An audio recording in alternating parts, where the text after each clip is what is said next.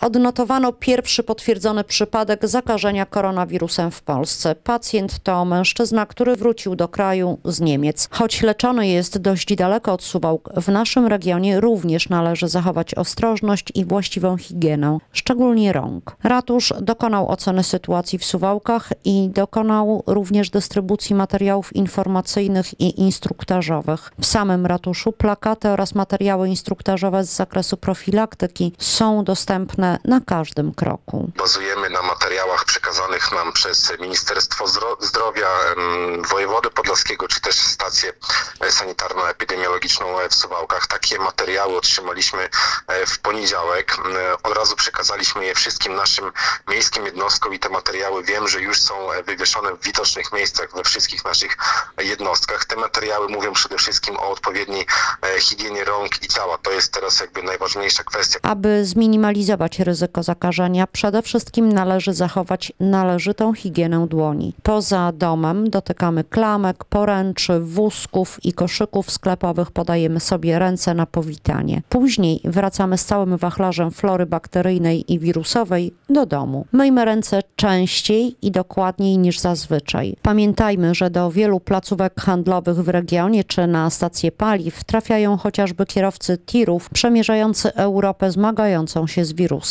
Dlatego ta intensywna dbałość o czyste dłonie jest absolutnie konieczna. Jak prawidłowo umyć ręce? Y, jak my dezynfekujemy ręce, naleję, to jest środek, tylko z takim y, związkiem fluoryzującym.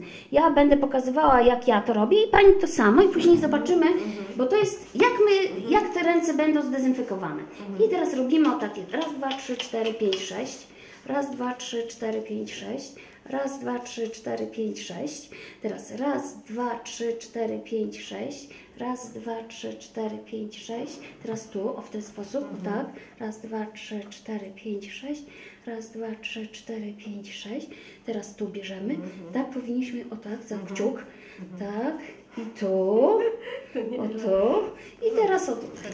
I to 30 sekund powinno trwać. To personel powinien, no, robić, dezynfekować po każdym kontakcie z pacjentem. I teraz tak, bardzo proszę, żeby pani, pani włożyła o tak ręce, tutaj. O, i teraz, i teraz tak, te, te, te ciemniejsze pola, mhm. to znaczy, że pani nie zdezynfekowała mhm. tych miejsc, mhm. a ręce powinny być Wszystkie powierzchnie no. powinny być pokryte, mhm. środek powinien być wtarty. I druga mhm. strona, druga, tak. A teraz a boczki, tu pokażemy, o tu, tu, tu. Mhm. Jeszcze, o, a teraz, a jeszcze tu.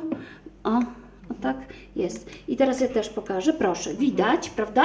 Widać, o. Widać niezdezynfekowane powierzchnie. Źle umyte dłonie są rezerwuarem bakterii i zarazków. Co powinno nas zaniepokoić i jak postępować, wyjaśnia spot Ministerstwa Zdrowia. Będziecie mogli go Państwo oglądać częściej na naszej antenie. Co musisz wiedzieć o koronawirusie? Nowy koronawirus powoduje gorączkę, kaszel, duszności, bóle mięśni i zmęczenie.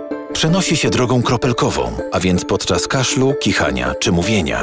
Jak zapobiegać zakażeniu? Często myj ręce, używając mydła i wody. Kiedy kaszlesz lub kichasz, zakrywaj usta i nos. Zachowaj co najmniej 1 metr odległości od osób, które kaszlą i kichają. Jeśli wracasz z regionu, gdzie występuje koronawirus i masz objawy choroby lub miałeś kontakt z osobą zakażoną, powiadom o tym telefonicznie stację sanitarno-epidemiologiczną lub zgłoś się do oddziału obserwacyjno-zakaźnego. Dowiedz się więcej na www.gov.pl ukośnik koronawirus.